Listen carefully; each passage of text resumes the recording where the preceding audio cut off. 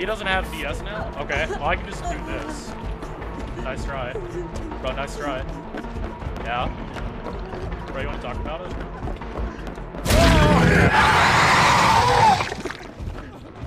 He's cheating!